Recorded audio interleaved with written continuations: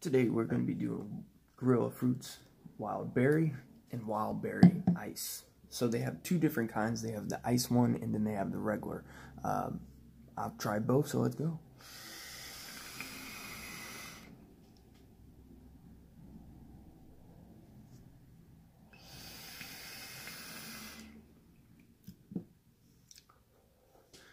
So this juice actually shocked me. So Mixed Berries by Reds is my favorite Mixed Berries by far. This one is a little bit different. Uh, it has on the bottle, uh, looks like pomegranate, raspberry, blueberry, strawberries, uh, blackberries. To me, it just tastes like you took all that and you put it in a blender. You really can't taste one individually, but you taste them all together. It's kind of like a cocktail per se. They come in a wide variety of nicotines, and it's a 70-30 VG blend.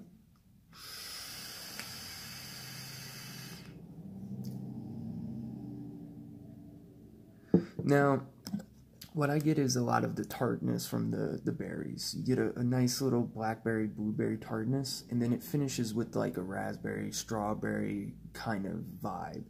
Uh, it, it's well blended, it's tart, it's sweet, it's a little bit of sour.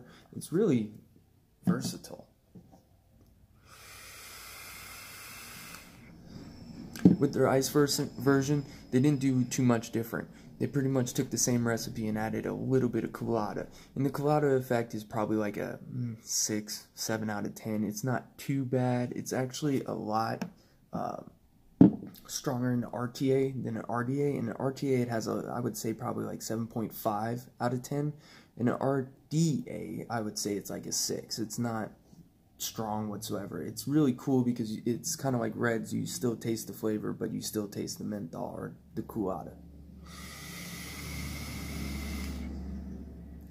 Now, what's funny is it every now and then it does have one piece, just one, just one piece of pomegranate right there, which is probably hard to see. Uh, let's see if we can focus on it. Right there.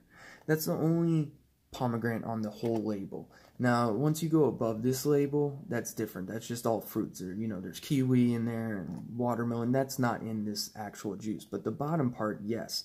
And they put one pomegranate there, and I was like, what the heck? And I couldn't taste it. Every now and then, you taste the pomegranate. It's actually really, really, really good.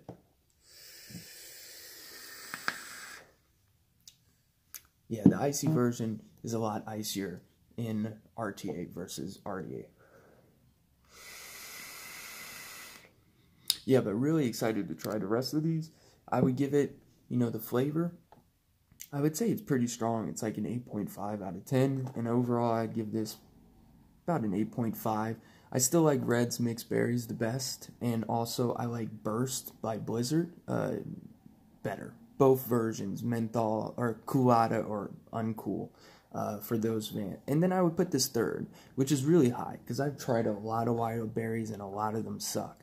Uh, but yeah, I would only put those two ahead of it, and easily it depends upon your palate. This one is more unique than the other ones because it has way more berries, uh, and you taste a different blend almost every time. It's really good. Yeah, 8.5 out of 10, easily.